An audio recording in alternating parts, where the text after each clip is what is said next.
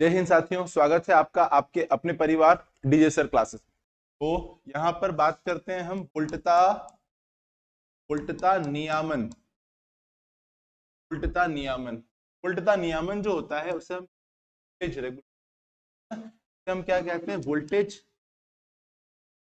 voltage regulation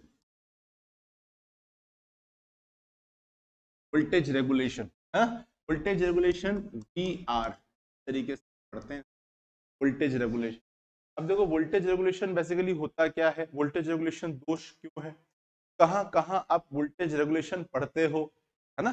ये आपको पता होना चाहिए। तो अब देखना, हम वोल्टेज रेगुलेशन को क्या बोलते हैं कि change in voltage from no load to full है ना? Change in voltage from no load to full load is known as voltage regulation है ना?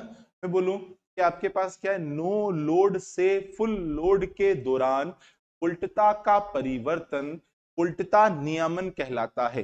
है ना? अब इसे जनरल बात करते हैं, व्यापक बात करते हैं यार अपन, है ना? देखना सिंपल सी बात करते हैं। कि मान लो हम कई बार लोगों से व्यवहार में आते हैं, संपर्क में आते हैं लोग बड़े अच्छे होते हैं। आप थोड़ा सा प्रेशर अप्लाई करो, है ना? थोड़ा सा प्रेशर अप्लाई करो। जिस भी सिस्टम में वो दो लोग हैं, है ना? उन लोगों के व्यवहार में परिवर्तन हो जाएगा। यस और नो यस होगा कि नहीं होगा? होगा ना? अभी आपके पास बताओ ये परिवर्तन बहुत बड़ा होना चाहिए थोड़ा बहुत चलेगा? थोड़ा बहुत ही चलना चाहिए। ज़्यादा परिवर्तन नहीं होना है ना? तो ज़्यादा परिवर्तन बहुत खराब होता है। तो मुझे बताओ वोल्टेज रेगुलेशन जो है अभी आप सोचो एक, एक बाइक लेकर आते हैं एक बाइक पर आप बैठते हो घुमाते हो बकायदा है ना? और बहुत बढ़िया स्पीड में चलते अब आपने क्या करा? कंपनी ने बोला हुआ है कि दो लोग आप बिठा सकते हो, है ना? तो दो लोग आपने बिठाए और गाड़ी को चलाया। अभी गाड़ी उसी स्पीड से, उसकी एक्सीलरेशन से चलनी चाहिए ना। लेकिन गाड़ी आपको फील हो रही, दब के चल रही है। वो नहीं मिल पा रही जो मैं अकेला चलाता हूँ वैसा, है ना? तो बताओ ये गड़बड़ है कि नहीं है? ये क्या है? आपकी गाड़ी के स्पीड का रेगुलेशन ये आपके गाड़ी की स्पीड का रेगुलेशन है। है ना? अभी आप देखना सिंपल यहाँ आपने क्या किया? टर्मिनल पर नापे वोल्टेज सपोज़ मान लो वोल्टेज यहाँ आपको 230 मिल रहे हैं, है ना? आपने एक तार खींचा और नीचे ऑफ़िस के कोने पर आके बोले, गुरुजी लिया है मैं सप्लाई ऊपर के पॉइंट से लाया हूँ, है ना? बाकी तो कोई पॉइंट में सप्लाई नहीं थी, यहाँ से ले लो, कोई दिक्कत वाली बात नहीं है, अपन यहाँ से इस चीज़ को चला लेंगे। यार, लाओ, जरा एक बार टर्मिनल वोल्टेज नापो। अब बताओ, कितने आने चाहिए वहाँ पे? 230 आने चाहिए ना? क्योंकि आप तो 230 नाप के लेके गए हो यहाँ पर, और वहाँ पर 230 नहीं आ रहे वहाँ पर आपके 220 ही आ रहे हैं। तो आप बताओ 10 वोल्ट कहाँ गए? गुरु जी रेगुलेशन में। कहा गए? रेगुलेशन पे। ये जो लाइन खींच के लेके गए हो ना, इस लाइन ने ड्रॉप करवा दी हो तो आपके दोस्त वहाँ तो 220 ही मिलेंगे। तो अभी बताओ रेगुलेशन को अगर व्यापक रूप से देखा जाए तो रेगुलेशन आपको ट्रांसफॉर्मर में पढ़ाई जाती है है ना? किस नाम से पढ़ाई जाती है? ट्रांसफॉर्मर का वोल्टेज रेगुलेशन रेगुलेशन को अगर देखा जाए तो रेगुलेशन आपको अल्टरनेटर में पढ़ाया जाता है है ना? प्रत्यावर्तक का रेगुलेशन अगर रेगुलेशन को ढंग से देखा जाए तो रेगुलेशन आपको इस मशीन में भी पढ़ाई जाती है है ना? उसे कहते हैं स्पीड रेगुलेशन क्या बोलते हैं उसको हम? स्पीड रेगुलेशन है ना? क्योंकि देखो मोटर एक तो मैं बिना लोड के चला रहा हूँ और उसका आरपीएम रेटिंग क्या आ रहा है? एक उस मशीन को मैं रेटेड लोड पे डाल रहा हूँ, जो मैं उसको कम, उसकी निर्देशिका पट्टी पर मेंशन करूँगा। वो वो लिख रहा हूँ और फिर उसके बाद वो जो आ रहा है, वो क्या आ रहा है? तो अभी देखना कई बार क्या होता है, आप लोकल कंपनी की करने जाते हो और तो पूछते हो, भाई साहब, किस स्पीड चलती है? अरे भाई साहब, पंद्रह सौ आरपीएम पे चलती है। क्या बोल रहा है आपसे वो? पंद्रह सौ पे, है ना? आपने कहा, यार, ये कितने पे चलती है? अरे भाई साहब, भन्नाट मशीन है, चिंता मत करो, तीन हज़ार आरपीएम पे चलती है। है ना? अब आप समझना, एक आपके दो पोल की मशीन उसने डिज़ाइन करी है। इसकी आपके सिंक्रोनस स्पीड आपके पास कितनी है? तीन हज़ार है। और वो मशीन जो है, वो इंडक्शन है। इंडक्शन का मतलब ये होता है कि वे मशीन जो आपके सिंक्रोनस स्पीड पे नहीं घूमेगी, उसे इंडक्शन बोलेंगे। उसे असिंक्रोनस मोटर बोलेंगे, है ना? लेकिन वो चिल्ला चिल्ला के क्या बोल रहा है? अच्छा सुनने वाले सुन के भी जा रहे हैं, उसको चार बात और नहीं सुना रहे। है ना? दो पैसे कम में बेच रहा है वो। गारंटी फुल ले रहा है उसकी वो, है ना? गारंटी तो यू समझ लो मतलब आप विश्वास नहीं कर सकते उस लेवल पे। है ना? अभी आप देखना, यहाँ पर तीन चार पोल की मशीन एक और ली। चार पोल की मशीन का सिंक्रोनस स्पीड कितना आता है? पंद्रह सौ? हाँ वेरी गुड शाबाश। इतना तो है यार तुमको, है ना? पंद्रह सौ। और वो चिल्ला चिल्ला के क्या कह रहा है? पंद्रह सौ। अब आप बताओ मशीन घूम ही नहीं सकती इस स्पीड पे, है ना? और मशीन जो है, घूमेगी क्या? मशीन घूमेगी 1440 पर। मशीन घूमेगी आपके पास क्या है? 1460 पर। अभी आप देखना ये मशीन कहाँ घूमेगी? ये मशीन घूमेगी 2880 पर है ना? ये मशीन घूमेगी आपके पास कितना? 2910 आरपीएम पर। ये ये स्पीड आएगी। रेटेड आपके पास जो आ, मतलब ये तो उसकी नॉर्मल आनी चाहिए। इसका आपके जो स्लिप है है ना? वो आपके ठीक ठाक परमिसिबल लिमिट में है तो। अगर स्लिप और ज़्यादा बिगड़ा है ना? तो आपकी स्पीड आपके और डाउन हो जाएगी। क्लियर लेकिन जो आपकी बढ़िया कंपनियाँ होती है ना, वो कंपनी ऐसी बात करती नहीं है। वो क्या बोलती है? नहीं, हमारी मशीन इस पे नहीं घूम, है ना? हमारा फ़ैन जो है, वो भाई साहब, आपके पास घूमेगा 1200 आरपीएम। हमारी मशीन कहाँ घूमेगी? 2880 पे नहीं घूमेगी भाई साहब। हमारी मशीन जो आपको परफॉर्मेंस देगी तो आपके 2700 से 2800 आरपीएम पर परफॉर्मेंस ठीक है? और चलती भी ऐसी है, वो फर्राटा नहीं चलती, ठीक है? लेकिन ध्यान रखना, उनकी एज बढ़िया होती है। पावर कंजप्शन भी ध्यान में रखा जाता है है ना? पक्की बात है, आपकी जेब का भी ख्याल रखते हैं तो स्टार्टिंग में आपकी जेब बल्कि करवाएँगे, है ना? लेकिन फिर बाद में आपको क्या है, फ़ायदा ज़रूर देंगे। ये लोग स्टार्टिंग में आपको फ़ायदा ज़रूर दे देंगे, ठीक है ना? लेकिन बाद में आपको क्या कर देंगे, खाली कर देंगे तरीके से। ठीक है, बिल आपका जमा कराते रहो, उसमें क्या दिक्कत है? खराब हो गया तो भी वो आपकी है। गारंटी वारंटी अब नहीं एक साल की थी। है ना? तो ये बेसिकली रेगुलेशन यहाँ पर भी दिखा तो ये फ़र्क नज़र आ रहा है ना इसे हम क्या कहते हैं? स्पीड रेगुलेशन और ये भी एक तरीके से रेगुलेशन का ही एक पार्ट है।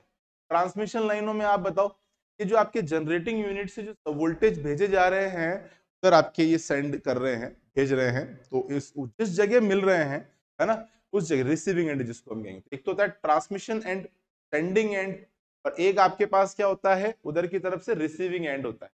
तो आपके पास सेंडिंग एंड और रिसीविंग एंड पर वोल्टेज में हमेशा फ़र्क आएगा। और जो फ़र्क आएगा, उसे ट्रांसमिशन लाइन का वोल्टेज रेगुलेशन क्या कहेंगे उसे? ट्रांसमिशन लाइन का वोल्टेज अब आप बताओ वोल्टेज रेगुलेशन कहाँ कहाँ पढ़ने को मिलेगा आपको? एक तो मिला ट्रांसफॉर्मर में। वोल्टेज रेगुलेशन ऑफ़ ट्रांसफॉर्मर दूसरा कहाँ मिला आपको? अल्टरनेटर में। वोल्टेज रेगुलेशन ऑफ़ अल्टरनेटर तीसरा कहाँ मिला? बोले साहब ट्रांसमिशन लाइनों में देखने को मिलेगा। और इसे कहेंगे आपके पास voltage regulation of trans transmission line अच्छा आपके पास मशीनों में मिलेगा, लेकिन यहाँ वोल्टेज के रेस्पेक्ट में नहीं मिलेगा, यहाँ स्पीड के रेस्पेक्ट में मिलेगा।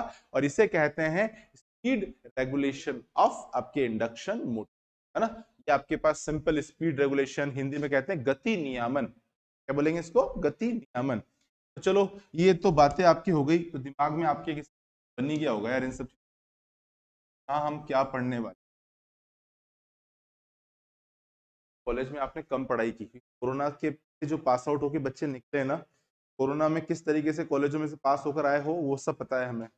कितना पढ़े हो वो भी पता है हमें। तो, तो मैं मानता हूँ ना कि हाँ कॉलेज में पढ़ा होगा तुमने है ना? वो मैं मान के चलता हूँ कि यार नहीं पढ़ा है तुमने। इसलिए मैं पहले टॉपिक के बारे में बताता हूँ आपको।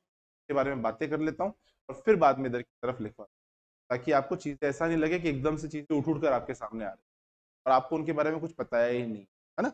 आपको भी थोड़ा सा समझना है बारे में गौर से सुनना है। समझ रहे हो बात को? अभी कोई भी नई सिनेमा का गाना आता है, आप फटाफट याद कर लेते हो ना? के लिरिक्स भी याद हो जाते हैं, गाने के बोल भी याद हो जाते हैं। आपने बताया उसको क्यों याद कर लेते हो आप? क्योंकि उसे आप अप्रिशिएट करते हो। याद हो जाते हो।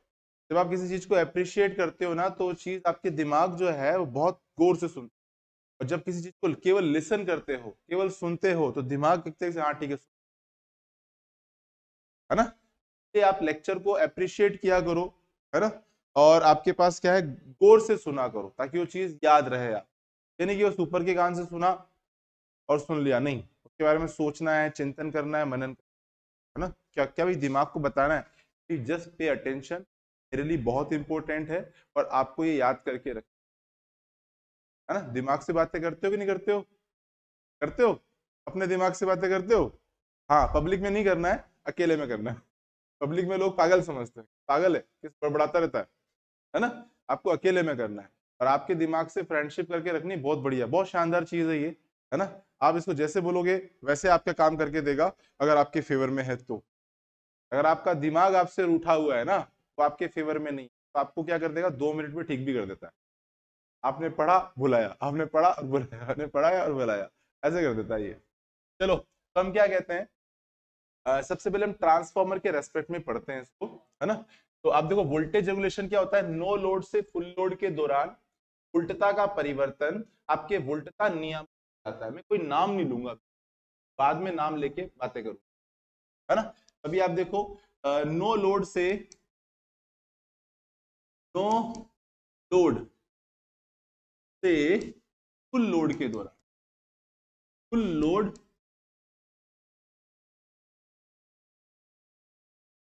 फुल लोड के दौरान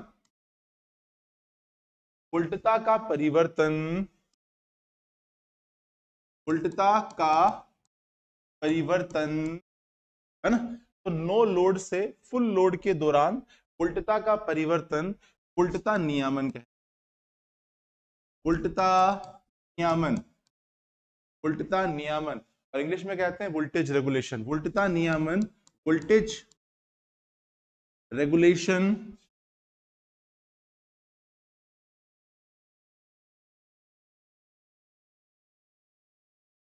कहलाता, है ना? तो नो लोड से फुल लोड के दौरान आपके वोल्टता का परिवर्तन वोल्टेज रेगुलेशन कहलाता है, वोल्टता नियमन कहलाता है। क्लियर ये पहला पॉइंट आपको क्लियर हुआ है।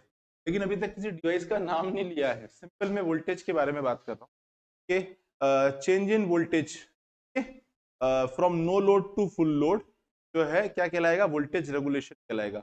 अब आप देखना, वोल्टेज रेगुलेशन को लेकर बच्चा जो अक्सर डाउट पूछता है, वो पूछता है कुछ यार, मेरे एक बात समझ में क्या? कभी तो ये नो लोड का भाग दे देता है। कभी ये फुल लोड का भाग दे देता है है ना? मैं कैसे याद करूँ कि आपके पास क्या नो लोड वाला सही है या फुल लोड वाला सही है? ना? ये डाउट कितने बच्चों के दिमाग में है? ऑनलाइन वाले बच्चे कमेंट करके बताओ जरा। कितने बच्चों के दिमाग में ये डाउट है कि यार कब नो लोड का भाग लगाना है और कब फुल लोड का भाग लगाना है? इस बात का हवा नहीं चलता बिल्कुल भी यार। ऑफलाइन वाले बच्चे बताओ। डाउट है? नहीं है। अच्छा पता ही नहीं बोले अभी तो सर ये डाउट भी होता है ये। ये पता ही नहीं कि डाउट भी होता है अभी तो। चलो खैर, कोई ना। जब आप पढ़ोगे ना, जब न्यूमेरिकल लगाओगे, तब बड़े डाउट होते हैं इसको लेके। यार, किससे निकाला इन्होंने यार? और मैं तो सोच रहा था उससे निकलेगा, मैंने उससे निकाल दिया, है ना?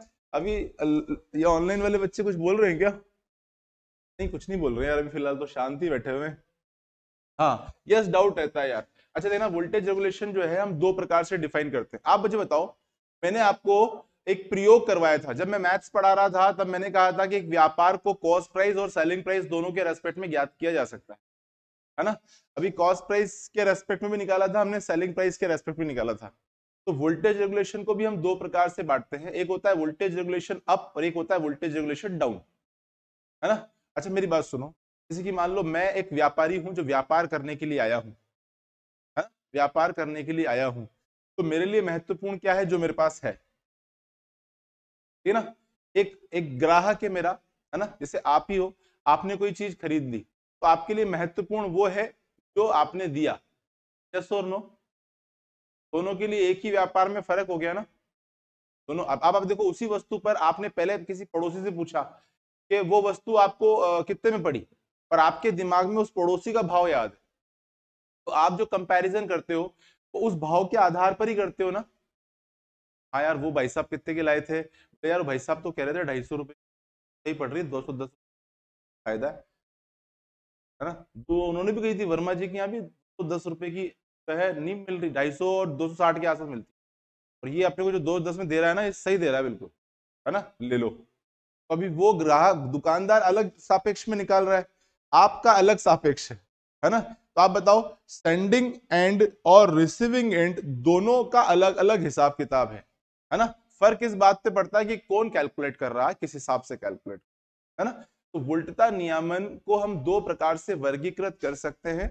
एक होता है वोल्टेज रेगुलेशन अप और एक होता है वोल्टेज रेगुलेशन आपके डाउन, है ना? Voltage regulation up, voltage regulation down. क्या लिखेंगे? उतार लिया आपने?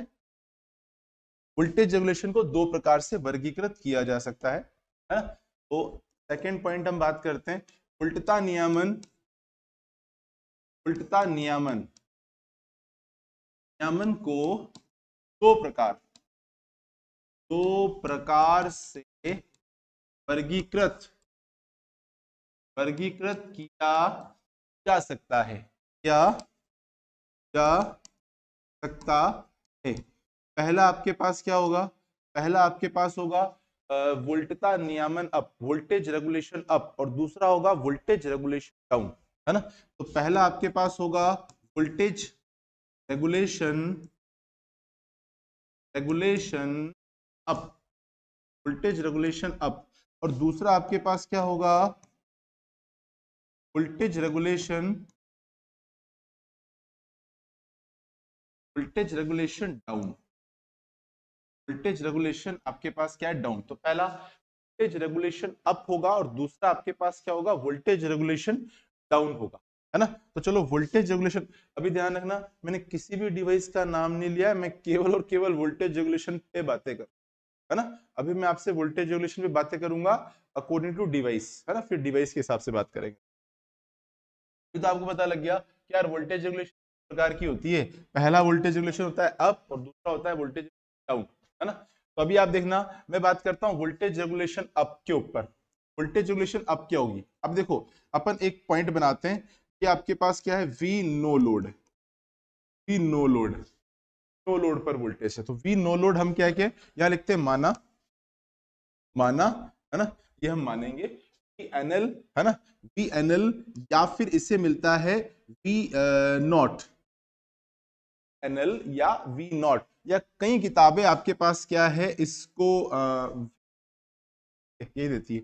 वी नो आपके पास वी नो लोड और इसे हम कहते हैं नो लोड वोल्टेज बोलेंगे इसको नो लोड वोल्टेज ये होगा नो लोड वोल्टेज ये हमने मान लिया, है ना? नो लोड वोल्टेज क्लियर इसके बाद आता है B F L F L for full load है ना? या फिर आपको क्या मिलता है वी या फिर क्या मिलता है वी अच्छा वी नोड जो होगा वो नो लोड पर वोल्टेज होगी और वी आपके पास जो होगा वो फुल लोड पर वोल्टेज जनरली कोई विशेष परिस्थितियाँ नहीं नो लोड पर आपको वोल्टेज का वैल्यू जो है वो अच्छा मिलेगा, है ना? फुल लोड पर वोल्टेज का वैल्यू ड्रॉप मिलेगा। ध्यान रखना, विशेष परिस्थितियाँ नहीं कंसिडर कर रहा हूँ, है ना? अभी आपके पास में सामान्य परिस्थिति की बात कर रहा हूँ, ठीक है ना? यहाँ पर आपके पास क्या होगा? ये होगा से कहेंगे full load volt full load load voltage है ना? नो लोड वोल्टेज और फुल लोड वोल्टेज ये आपके पास हमने है है ना? अभी आप बताओ नो लोड वोल्टेज जो है, उसका वैल्यू अगर हम बात करें जनरली तो ज़्यादा मिलने वाला है फुल लोड पर जो वोल्टेज मिलेगा, वो रेस्पेक्टिवली हमें थोड़ा कम मिल है ना? ये कितना कम मिलने वाला है, यही हम पता करने वाले हैं, है ना? इसको हम क्या बोलेंगे? रेगुलेशन और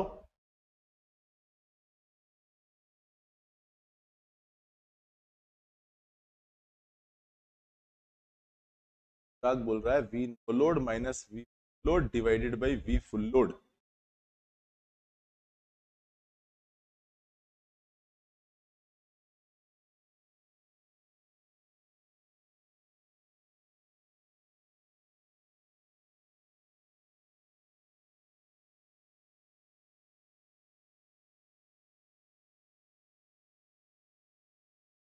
अब के बच्चे क्या कर रहे हैं यार? हमारे ऐप वाले विद्यार्थी।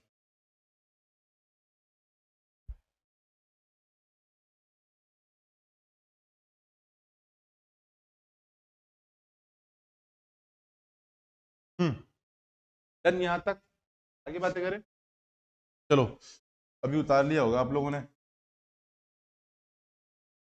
अब देखना, यहाँ पर मैं आपको दो फॉर्मूला दे रहा हूँ। वोल्टेज रेगुलेशन अप और वोल्टेज रेगुलेशन आपके डाउन का फॉर्मूला दे रहा हूँ। अब देखना, यहाँ पर हम बात करते हैं परसेंटेज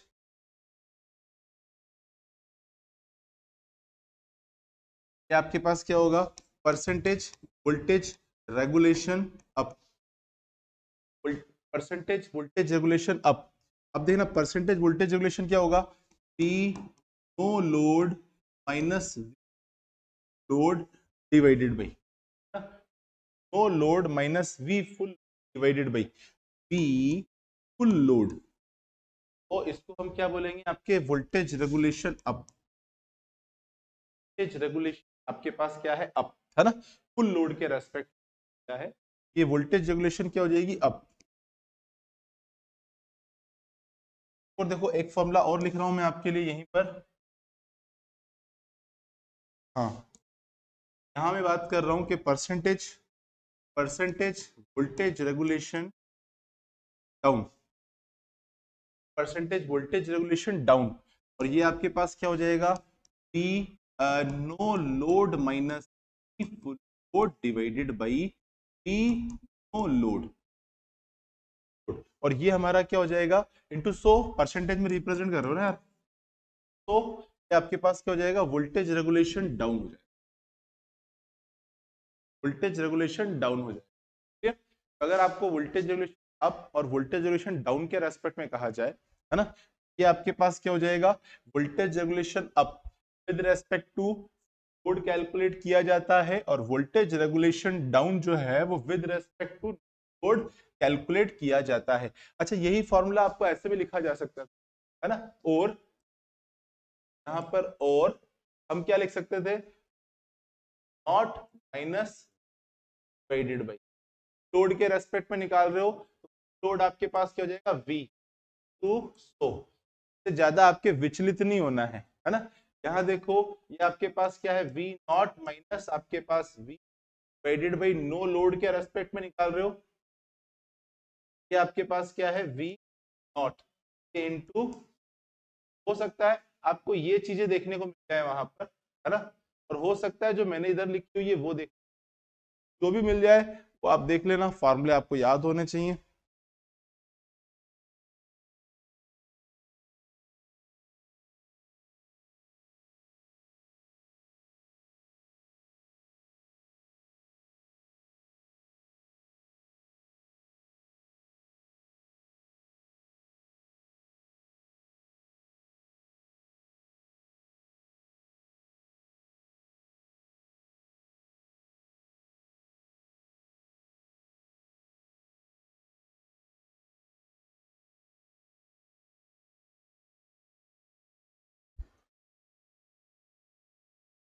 क्या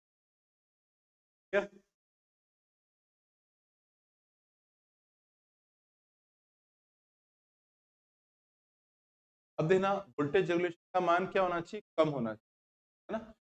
नियमन का मान क्या होना चाहिए? कम होना चाहिए। तो हम क्या बोलेंगे? यहाँ पर आपके पास क्या है लिखेंगे? उल्टता नियमन का मान, उल्टता नियमन नियमन का मान कम। होना होना चाहिए।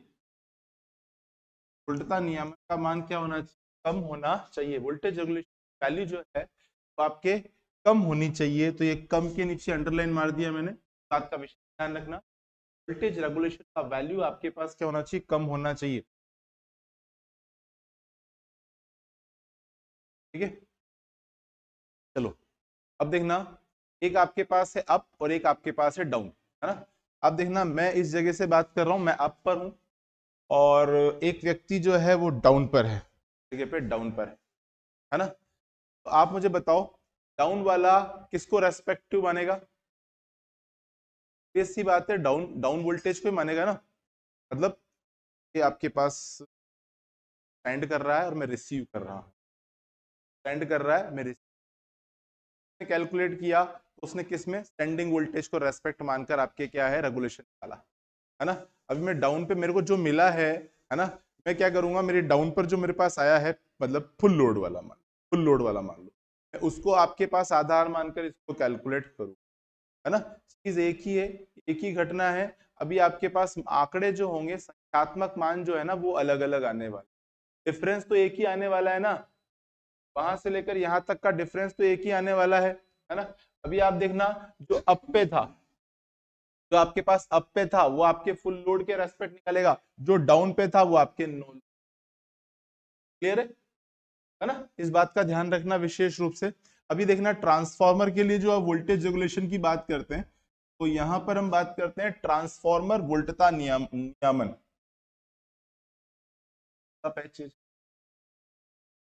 हाँ। यहाँ तक चीज़ें क्लियर है। ऑनलाइन वाले बच्चे जवाब दो। जितने बच्चे बैठे हुए हैं? पूजा, विजय, अनुराग, महेंद्र और भी आपके पास जो है। चलो, अभी हम बात करते हैं ट्रांसफार्मर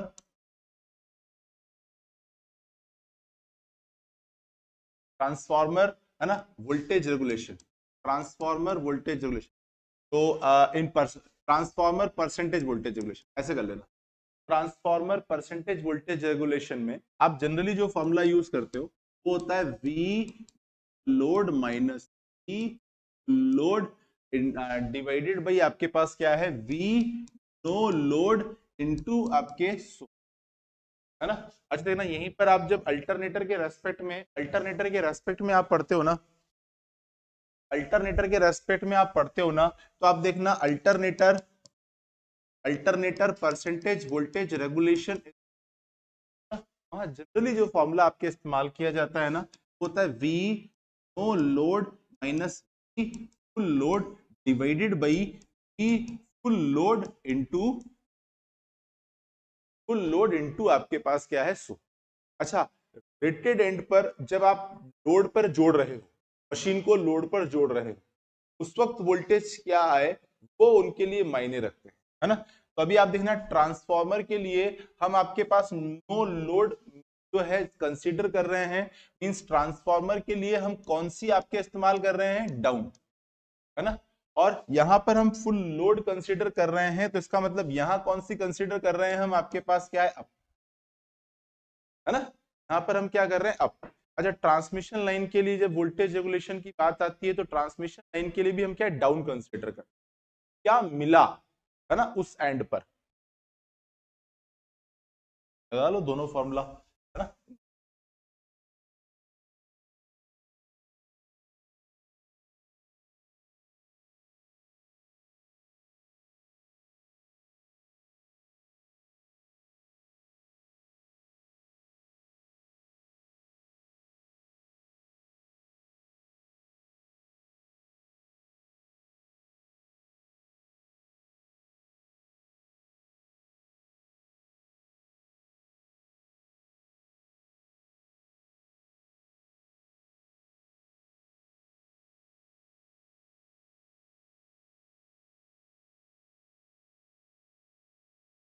चलो, आगे बातें करें। ये आपके पास क्या है? दोनों फॉर्मूला मैंने यहाँ पे लिखा दिया। वोल्टता नियमन क्लियर हो गया होगा। वोल्टता नियमन के बाद आपको अगला पॉइंट जो पढ़ना है, वो है गति नियमन। आप हेडिंग लगाओ, गति नियमन स्पीड रेगुलेशन गति नियमन। नियमन। गति नियमन को हम क्या बोलेंगे? Speed, regulation. रेगुलेशन गति नियमन स्पीड रेगुलेशन तो हम क्या कह सकते हैं? कि इंडक्शन है ना? के रोटर का नो लोड से फुल लोड के दौरान जो गति परिवर्तन है है ना? या गति में आपके पास क्या है? जो डिके है, वो डिके बेसिकली स्पीड रेगुलेशन कहलाता है है ना? नो लोड पे मशीन तेज चलेगी मशीन पे लोड डालते से मशीन का स्पीड डाउन होगा कि नहीं होगा? का मतलब वो स्पीड आपके पास खोएगी तो जो ये आपके डिके आएगा ना, ये डिके हमारे लिए क्या है एक तरीके का? Speed regulation. तो हम क्या कह सकते हैं कि इंडक्शन मोटर मतलब प्रेरण मोटर, है ना? तो इंडक्शन मोटर, प्रेरण मोटर के रोटर का नो लोड से फुल लोड के दौरान जो गति परिवर्तन है, उसे हम क्या कहते हैं? स्पीड रेगुलेशन कहते हैं। और इसे नो लोड स्पीड के रूप में व्यक्त किया जाता है। इसे क्या करते हैं हम? नो लोड गति की प्रतिशतता के रूप में व्यक्त करते तो डेफिनेशन क्या लिखने वाला हूँ? आपके प्रेरण मोटर प्रेरण मोटर इसे हम कहेंगे आपके induction induction motor induction motor की इंडक्शन है। ना? इंडक्शन मोटर की गति का, है ना? नो लोड से फुल लोड के बीच परिवर्तन। इंडक्शन मोटर की का या इंडक्शन मोटर के रोटर की गति का, है ना? ऐसे लिखते हैं। के रोटर रोटर ज़्यादा क्लियर है। रोटर घूमेगा ना? इंडक्शन मोटर के रोटर की गति, है ना? का नो लोड से लोड से फुल लोड। फुल लोड के बीच। फुल लोड के फुल लोड के बीच गति परिवर्तन। गति परिवर्तन। गति परिवर्तन, गति नियामन कहलाता है। गति नियामन नियामन कहलाता है नियामन कहलाता है। मेरी राइटिंग वाइटिंग ना तुमको क्या और धीरे धीरे लिखूं? धीरे धीरे लिखने में मेरे को आलस आते हैं यार, है ना? तो वैसे तो मैं कोशिश करता हूँ सब कुछ सही से ही लिखूं। ऑनलाइन वाले बच्चे जवाब दो यार ऑफलाइन वाले बच्चे तो लिख लेते हैं तो मुझे पता है। ऑनलाइन वाले बच्चे बताओ यार राइटिंग सुधारने की ज़रूरत है क्या मेरे को? ये तो अपने में बातें चल रहे हैं, है ना? हाँ। परिवर्तन गति नियमन कहलाता है। इसे इसे नो लोड, है ना? गति की प्रतिशतता प्रतिशतता के रूप में व्यक्त किया जाता है। रूप में व्यक्त व्यक्त किया जाता है है ना? से आपके नो लोड गति की प्रतिशतता के रूप में व्यक्त किया जाता है रिप्रेजेंट किया जाता है। चलो, अभी जो है हम और बातें करते हैं और इसका फॉर्मूला लिख लेते हैं। तो स्पीड रेगुलेशन क्या लिखेंगे हम यहाँ पर आपके? स्पीड रेगुलेशन को speed regulation percentage speed regulation कर लेते हैं। Percentage speed regulation is equal to ये आपके पास क्या है? एन नो लोड है ना? तो एन नो लोड को मैं एन नोट से रिप्रेजेंट कर रहा हूँ। तो आप समझ जाना एन नो लोड की बात चल रही और एक आपके पास क्या है? एन एक आपके पास क्या N divided by N naught into सो अगर आपकी इच्छा करेगी, नहीं साहब, हम तो ऐसा नहीं लिखेंगे। हमको तो नो लोड और फुल आ गया है। ये ज़्यादा मज़ा आता है लिखने में, है ना? तो आप ऐसे लिख देना एन और ये no load minus N load divided by N no load into आपके पास आपकी इच्छा, है ना? बस, लिख देना यार, बता देना, जब पता चले। जब कोई पूछे ना, तब बता देना। महेंद्र मीणा सर राइटिंग और स्पीड सही है? हाँ सही है, मेरे को भी सही लगती है। कम वाले का सिलेक्शन वलेक्शन नहीं होगा, वो टाइम खराब कर रहा है।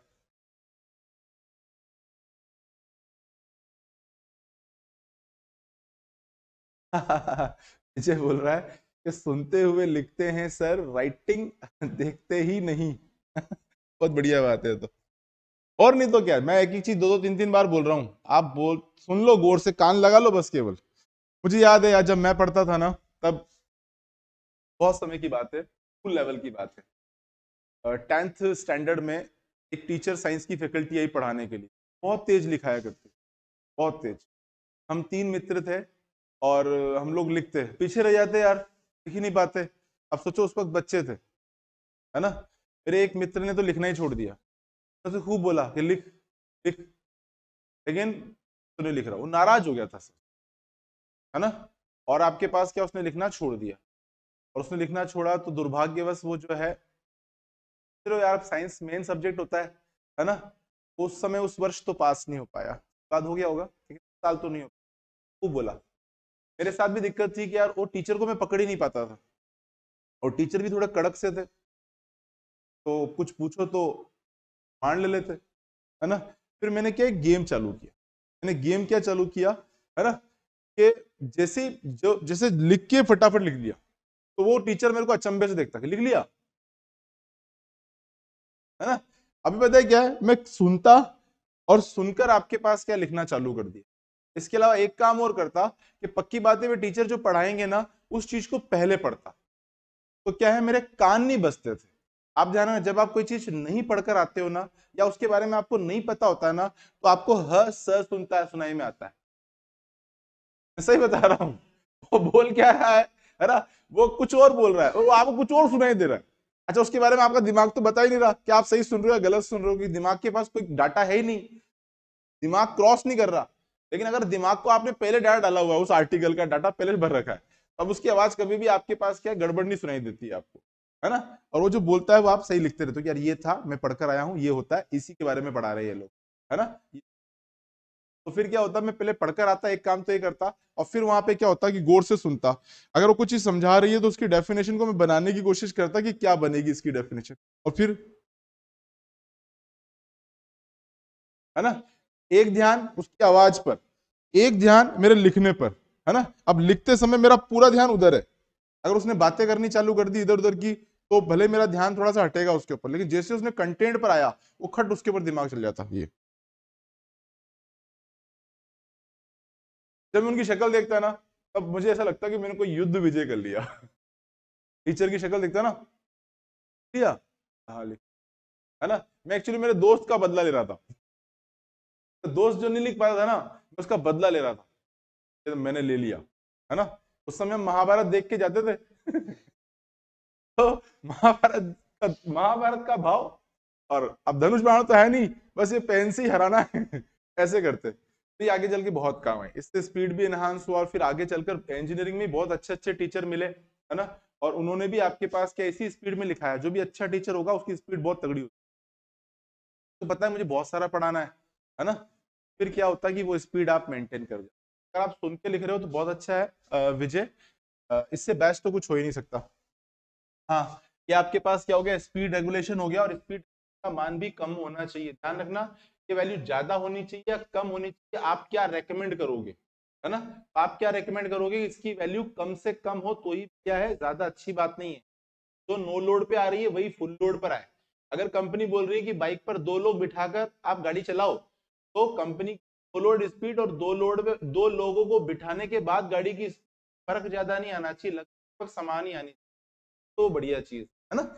इसका मान कम से कम होना चाहिए। इसका मान का मान कम से कम प्राप्त होना चाहिए। होना चाहिए। ये आपके पास क्या हो गया? स्पीड रेगुलेशन हो गया। क्लियर अभी देखो स्पीड रेगुलेशन कंप्लीट है। यहाँ तक। क्लियर आई होप आज की क्लास आपको समझ नहीं होगी। अगर आप इस क्लास में अभी तक बने हुए हैं मतलब ये क्लास आपको अच्छी लगी। अगर ये क्लास अच्छी लग रही है ना तो दिल की बात लाइक के ज़रिए हम तक और कमेंट बॉक्स में एक प्यारा सा कमेंट भी ड्रॉप कीजिए। आपका एक सिंगल कमेंट मुझे बहुत मोटिवेट करेगा, मुझे बहुत ऊर्जा से भर देता है है ना? और आपके साथ और ज़्यादा काम करने आपके क्या करता है, मेरे को प्रेरणा देता है। तो आज के लिए इतना काफ़ी है। बाकी की बातें जो है, वो हम अगली क्लास में करेंगे। तब तक आप लोग भी अपना ख्याल रखिए, पढ़िए और याद ज़रूर। थैंक यू सो मच जय हिंद, जय भारत।